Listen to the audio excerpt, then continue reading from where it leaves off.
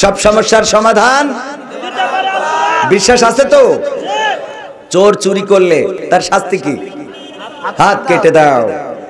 আমি যদি ভাঙা হাত নিয়ে আপনাদের মধ্যে আসতাম, কাটা হাত নিয়ে আসতাম আর বলতাম, ও আমার কুমিল্লার ভাইয়েরা, ও আমার গৌরীপুরের ভাইয়েরা, ও আমার মাইথার দিয়ার ভাইয়েরা, ও আমার কি পালের হাট না কি পালের বাজারের ভাইয়েরা, তোমাদের কাছে অনুনয় করে বলে যায়, আমি যশোর থেকে এসেছি।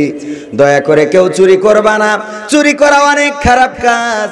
আল্লাহ রব্বুল আলামিন যদি কেউ চুরি করে, তার শাস্তি দেওয়ার জন্য বলেছেন, তার হাত যেন কেটে দেয়া হয়। তাই দয়া করে আপনাদের কাছে অনুনয় করে, বিনয় করে বলে গেলাম, ও আমার কুমিল্লাবাসী, দয়া করে কেউ চুরি করবেন না।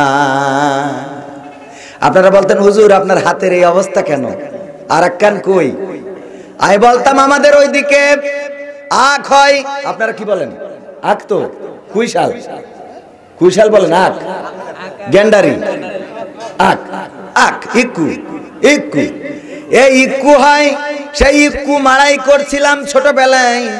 আমার আব্বা আমাকে আখ মেশিনে ঢুকানোর জন্য, ইকু মেশিনে ঢুকানোর জন্য বলেছিল, আমি মেশিনে ঢুকাতে ঢুকাতে ঢুকাতে ঢুকাতে হঠাৎ করে ঘুমের ঘরে আমার হাতটাও ঢুকে যায় আর আমাকে হাসপাতালে নেওয়া হয়। ডাক্তার বলে, হাত কেটে দিতে হবে। আমার হাত কেটে না ফেললে হাতে সেফটি হবে, মারা যাব। এই জন্য আমার হাতটা কেটে ফেলে দিয়েছে। তারপরেও আপনাদের মধ্যে এসেছি। দয়া করে বলি, আপনারা কেউ চুরি করবেন না।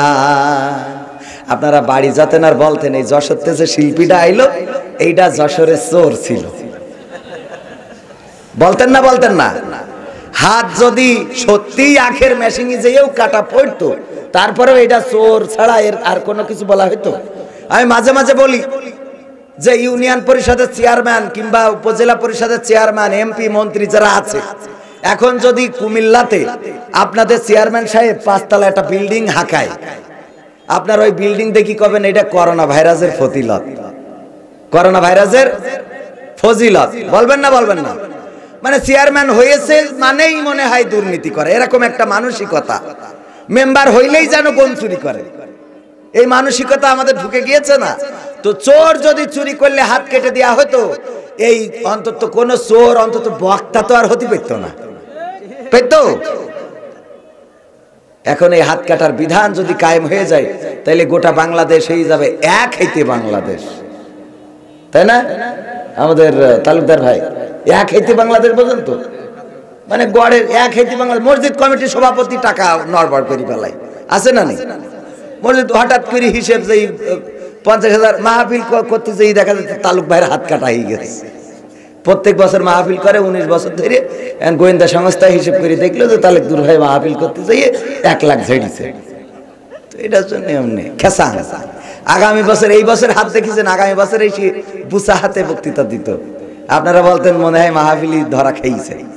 ঠিক না এটা লুকানোর কোনো সুযোগ থাকতো না, এই জন্য আল্লাহর আইন কিছু সময়ের জন্য খারাপ মনে হইলেও এই আইন যদি কায়েম হয়ে যায়, চোর চুরি করতে যেয়ে ওর পরাণের মধ্যে কেঁপে উঠবে যে আমার এখনও মেয়ে বিয়ে দিতে হবে।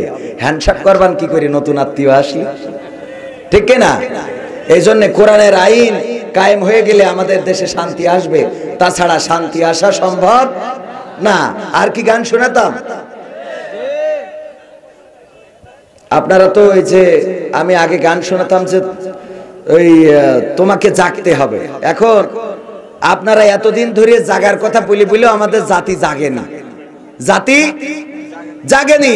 মুসলমান না জাগার ফসল, আজকে মুসলমান দেশে দেশে নির্যাতিত, নিষ্পেষিত। ওই যে ফিলিস্তিনে তাকিয়ে দেখেন, মুসলমানেরা কাঁদছে, ইরাকে তাকিয়ে দেখেন, আরাকানে তাকিয়ে দেখেন। আপনারা বিশ্বের প্রত্যেকটা জনপদে যদি তাকিয়ে দেখেন, দেখবেন মুসলমানেরা নির্যাতিত, নিষ্পেষিত, লাঞ্ছিত এবং বঞ্চিত বলেন ঠিক কিনা। যদিও আরাকানে যার পৃষ্ঠপোষকতায় আরাকানের মুসলমান নির্যাতিত হয়ে বাংলাদেশে আশ্রয় নিয়েছিল, সেই ব্যক্তি এখন ফান্দে পড়িয়ে বগা কান্দে। ফান্দে পড়ে বগাই কান্দে। এখন তো কান্তি হবে। এই অংশাং সূচি তোমাকে হুঁশিয়ার করেছিল বাংলাদেশের আলেম সমাজ। তোমাকে হুঁশিয়ার করেছিল মুসলিম বিশ্ব। তোমাকে বলা হয়েছিল, এই নাব নদীতে সাঁতরে যারা আসছে, তাদেরকে আরাকানে থাকতে দাও। তাদের পরে আর নির্যাতন করে না। তাদের পরে আর জুলুম করে না। তাদের চোখের পানিতে আল্লাহর আরশ কেঁপে উঠছে। তোমার চোখেও জল ঝরবে। মাত্র কয়েকটি বছরের ব্যতি কয়েকটি বছরের ব্যবধানে আজকে সেই সূচি কারাগারে লাঞ্ছিত, নির্যাতিত, রিমান্ডে পড়ে আছে বলেন ঠিক কিনা? মুসলমানদের সাথে বেয়াদবি করবা না, কোরআনের সাথে বেয়াদবি করবা না, আল্লাহ ও তার রাসুলের সাথে বেয়াদবি করবা না, এই বেয়াদবি তোমার তাকদীরের উপরে করা পড়ে যায়। এই জন্যে অংশান সুচিকে দেখে শিক্ষা নিন, যারা জুলুম করেন, যারা জালিম হয়ে বেঁচে আছেন, তারা শিক্ষা নিন, আজ হোক, কাল হোক, আপনারও এই পরিস্থিতি হতে পারে বলেন ঠিক কিনা? ডোনাল্ড ট্রাম্প পাঁচ বছরের বেশি ক্ষমতা ধরে রাখতে পারে নাই। চার বছর। আমি আরও এক বছর বাড়াই দিছি।